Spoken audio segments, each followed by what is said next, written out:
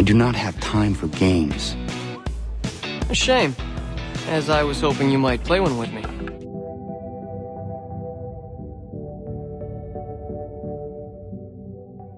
Assassin's Creed Revelations.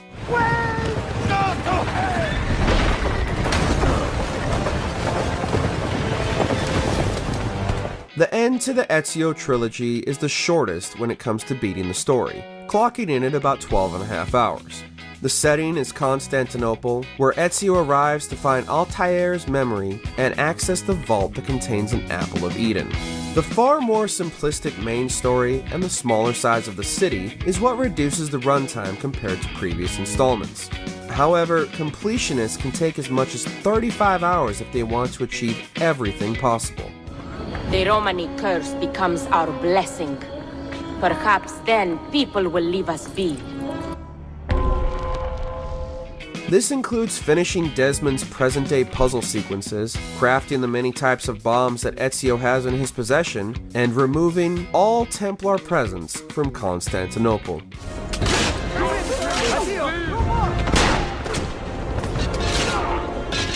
Assassin's Creed Brotherhood. It is good to be home. How is mother? She's fine. I, I heard you were returning, but I'm glad to see it with my own eyes. The first game in the series to make one location its primary setting, Brotherhood involves Ezio's stay in Rome, where he looks to remove Cesare Borgia's influence. It features a wide range of characters who form part of Ezio's list of allies, with the goal to create an assassin stronghold in the city by recruiting new members. The conspiracy behind the power struggle for Rome and Ezio's struggles to be a leader sets the main campaign at around 15 hours. We now have the names of several Templar agents Cesare has recruited to terrorize Roma. How do I find them? Completionists can spend a much longer time playing, though, as elements like carrying out assassination contracts and playing Ezio's repressed memory sequences bolster the runtime to as much as 41 hours. Taking novice assassins and turning them into masters in their own right takes quite a while, and dedicated players need to put in the time to see it through.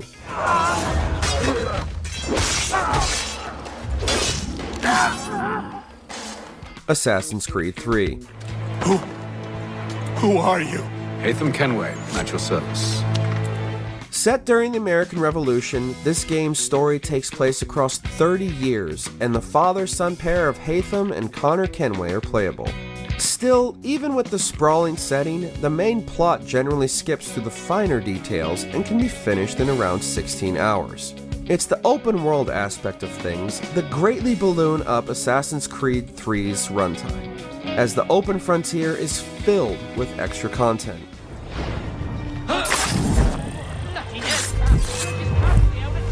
It's the first time players get to experience naval gameplay, with certain sequences dedicated to guiding Connor across enemy territory. Hunting and expanding Connor's homestead is the primary way to finish off all of Connor's side quests. Ultimately, it takes about 56 hours for completionists to fully explore the open world and round out Connor's adventures from start to finish. You clearly want the supplies he's stolen. I want him punished. Our interests are aligned. Assassin's Creed Unity. About that, I had one, of course, but on the web. No invitation, no admittance. Now clear the queue. Next, please. Widely regarded as the weakest entry in terms of quality, Unity nevertheless has a lot of material for players to immerse themselves in. Set in Paris during the French Revolution, its plot is about Arno Dorian uncovering the conspiracy behind the death of the Templars' Grand Master that leads into another conflict with the Assassins. If that's a fancy way of asking, do I want your help? Yes. Then drink. The main campaign lasts around 17 hours, and its runtime is bolstered because missions require players to extensively infiltrate large areas to finish off the targets. Of course, it's the additional content that truly makes this a big game, as Unity's co op feature lasts a long time. With up to four players possible to team up, the missions are narratively driven and contribute to the potential completionist time of 78 hours.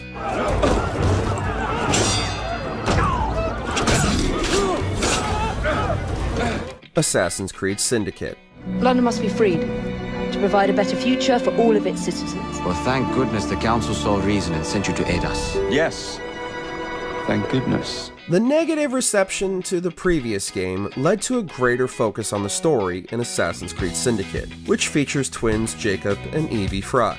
Looking to take down the Templars' crime syndicates in Victorian London, the protagonists have to navigate across seven boroughs. Even with the story's larger runtime, which generally clocks in around 18 and a half hours, the game had the largest map to offer in the series up until that point.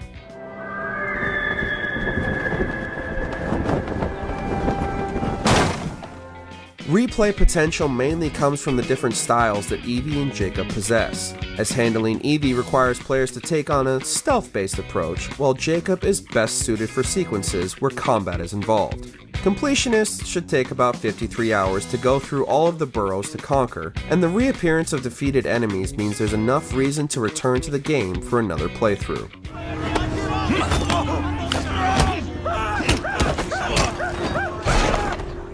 Assassin's Creed 2. I assume these misadventures won't interfere with your work today. No, padre. Avete la mia parola. Considered as the best game in the series by many fans and critics, Assassin's Creed 2's greatest asset is its detailed storyline. It remains one of the most engaging main campaigns for games at the time of its release, with the general time to complete around 19 hours. It begins Ezio's venture into the Assassin's Brotherhood, taking place across 23 years as Ezio becomes a master assassin after the death of his father and brothers. With the map containing the six locations of Venice, Florence, Monteriggioni, Forlì, San Gimignano, and the Tuscany countryside, each place is relevant to the story. We'll need to be on hand to make sure Giuliano even gets out of bed for church tomorrow. Completionists should take about 35 hours to check out all that is available to find, such as the Codex pages, the Assassin's Tombs, and turning Monteriggioni into a thriving community. All right, that's enough grim talk for one night. I'll be in my study if you need me. Assassin's Creed 4 Black Flag. Forgive my caution, but were you able to salvage from these pirates the items you promised me? Uh, yes, sir, I was. Revamping the gameplay to encourage players to explore the world in a more hands on way, this game places heavy emphasis on naval missions. The majority of the experience is guiding Edward Kenway across the sea during the golden age of piracy, where he becomes embroiled with the Assassin's Brotherhood. The main campaign generally lasts around 23 hours, with the story featuring well known pirates like Blackbeard, Mary Read, and Anne Bonny. Then I'll be up the duff the next time you come knocking. In a series' first, the modern day elements also take up some time, as players control an Abstergo employee to uncover the Templars' schemes. Side quests are the meatier parts of the overall experience, so battles to conquer pieces of land and taking down powerful ships and boss fights are regularly featured. It can take up to 60 hours to fully appreciate life as a pirate for what is arguably Assassin's Creed's most creative entry. To expose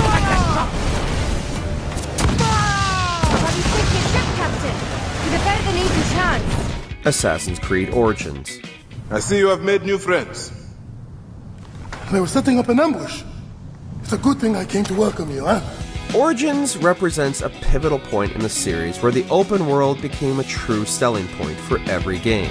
It's set in Ptolemaic Egypt, where players control Medjay Bayek, who seeks revenge against the men that caused the death of his son. The story campaign takes a detailed look into how the future Brotherhood was established, with Bayek and his estranged wife Amunet forming the Hidden Ones. As part of the gameplay, we need to hunt down all of Bayek's targets, which can extend even beyond the main storyline.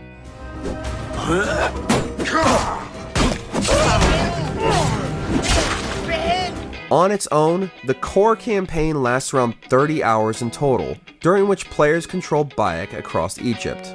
Origins' greater side material, comprising gladiator quests, raiding pyramids, fighting monsters of legend, and more, all contribute to the completionist time of around 83 hours.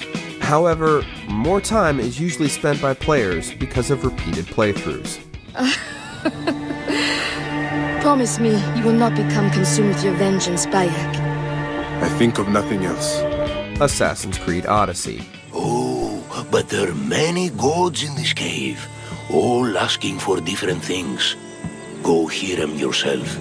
You'll get my last tribute if you do.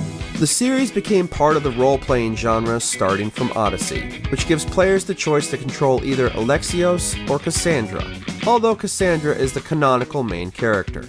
Set during the Peloponnesian War, the story is about Cassandra's attempts to reunite her family and takes place across the Greek city states. Odyssey's main campaign is a huge undertaking because of the many choices that diverge one scenario from another. They killed our brothers, our neighbors. We survived the massacre, but he'll kill us now. The gods have abandoned us. The sick must join the dead if we are to save the living. Due to this, players have to return to previous moments in order to unlock different endings. All in all, the story in its entirety lasts about 43 hours, but to truly complete the game is another matter. Hunting down the Cult of Kosmos requires fully enhancing the skill tree through the open world experiences, meaning finishing the whole game can go as long as 130 hours or more. You! Let's see what kind of skill you have! Assassin's Creed Valhalla. You will have greater influence over the kingdoms of England. And you will have more medallions to count. Exactly. With the main character taken to different settlements each time a new story begins, Valhalla was designed in such a way that the campaign dedicates more than several hours to each arc. It can take around 50 to 60 hours just to complete the storyline, but sequences set in Norse mythology can extend that further. Players control Eivor, who has so many RPG elements in her story that it takes multiple playthroughs to see how many scenarios are possible.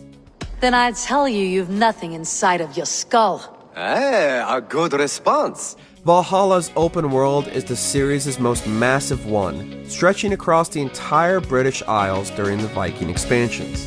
In fact, the extensive time to complete the game is also a point against Valhalla's favor, as there's just too much traversing required to see everything. All things considered, it can take upwards of 135 hours for completionists, and even then, some scenarios might be left to consider. I will. Thank you, Hytham, for all of this. Do you agree with our picks? Don't forget to stick around and check out our other videos on Mojo Plays.